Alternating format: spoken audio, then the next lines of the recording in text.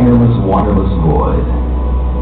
This precious sphere, covered as it is by more than two-thirds water, would more rightly be called planet Ocean. For it was in the ancient sea that all life began, and it is the sea that sustains it still. Some of the ocean's inhabitants have remained perfect and unchanged since the dawn of time. Others have left the sea to walk or crawl upon the land, and some, like the great whales, the seals and sea lions, have returned to it. The creature to have most recently attempted this homecoming is man himself. With faltering, furtive steps, we are just beginning to unravel the timeless mysteries of the oceans. And by doing so, find it not the dangerous, dark, and unwelcoming place of myth, but a fragile and beautiful world in which we are still but mere visitors. Good afternoon, everyone. My name is Natalia, and I would like to welcome you all to the Pacific Undersea Garden and introduce our diver Dean, who will be our guide through the small corner of the underwater world today.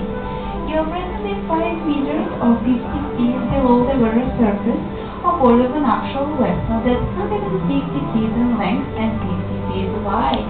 More than 500 animals of various species, all native to the local area and have the areas surrounding the vessel in a natural but protected environment. The water temperature outside the viewing port is currently 8 degrees Celsius or 48 degrees Fahrenheit, which is why Dean wears protective equipment he is not in the least bit cold. In addition to his dry suit, Dean wears the weight belt that helps to control his bones. At this step, the air supply will last you up to 90 minutes. Through the use of underwater and talk to us. Hi Dean, how are you doing today?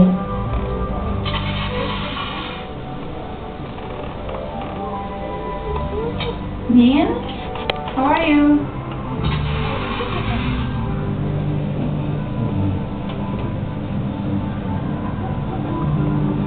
Hey Dean. Dean, we didn't hear you.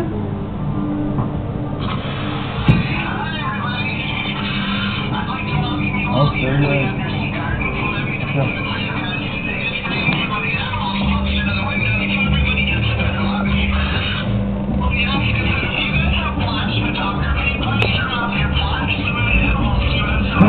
these crustaceans, are members of a group of creatures that in sheer numbers dominate the Earth and have done so for more than 500 million years. The crab's hard shell is in fact its skeleton, so that in order to grow, it must be shed and replaced by a larger one, up to seven times in a lifetime. Once hatched from its egg, the crab spends the early stages of its life swimming freely amongst the plankton.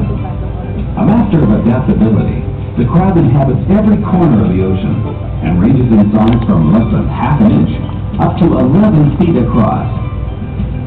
The crabs most commonly found in our area include red crab, the Dungeness, the king crab, and the hermit crab. Just crabs refer to and means hidden under rocks on case of a hermit crab in the scarlet shells of other creatures. Then it's holding Sound king crab now for us. Few of the crab's legs have developed into powerful features for feeding and defense, and in case of the larger species, a painful wound may be inflicted.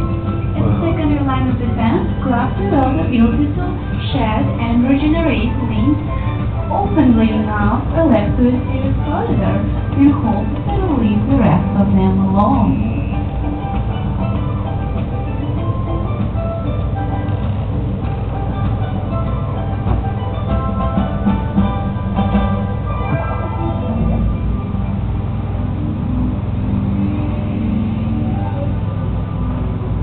Another group of creatures capable of regeneration are the sea stars.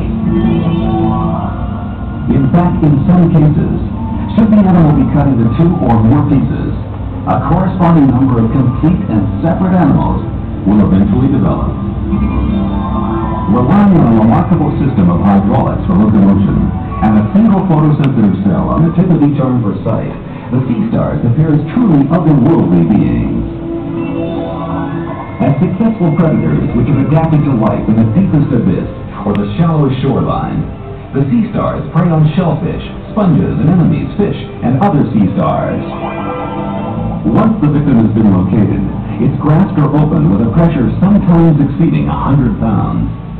The sea star then forces its own stomach out of its body into an older than